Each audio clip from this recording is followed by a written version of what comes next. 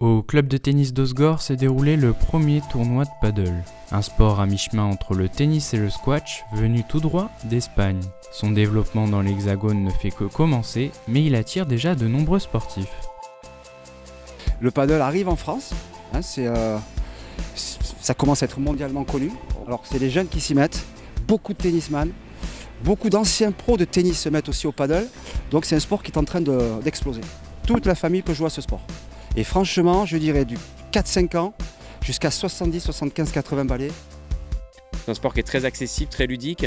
On sert d'un carré euh, à l'autre en diagonale, pareil, euh, de, le premier à droite et après à gauche, donc 15, 30, euh, 40 euh, avantages euh, du comme au tennis. Cependant, il contient quelques variantes, comme le fait de se jouer obligatoirement en double. Autre différence majeure, les joueurs peuvent également utiliser les vitres pour renvoyer la balle dans le camp adverse. Ce qui est intéressant, c'est qu'à un moment donné, quand on commence à progresser, la balle reste de plus, plus en plus longtemps dans le cours. Donc ça nous permet de jouer avec les vitres.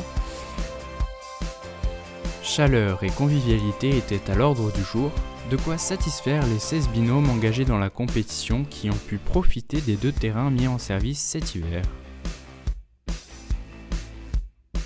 Vous arrivez, vous donnez 20 euros.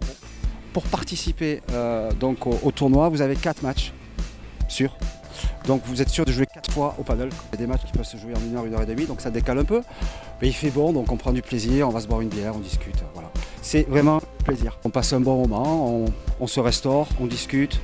On va profiter un peu des terrains euh, de foot, de rugby pour, euh, pour s'échauffer.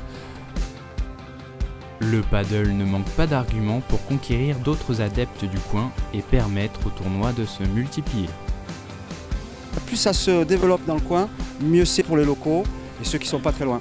Moi je conseille déjà l'environnement. Euh, prendre ses enfants, taper la boule sur les terrains, venir faire une heure et demie de paddle, vous avez les tennis. Vous avez l'occasion de boire un coup dans un cadre idyllique. Euh, ouais, je les pousse à venir. Voilà, via le surf. Bon, c'est très sportif au Segor, c'est cool. Donc ça, ça rajoute encore un, truc en plus. Je dirais vive le paddle. Moi, je, voilà, je prône ça. euh, Faites-en, essayez.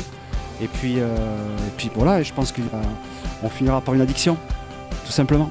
Voilà.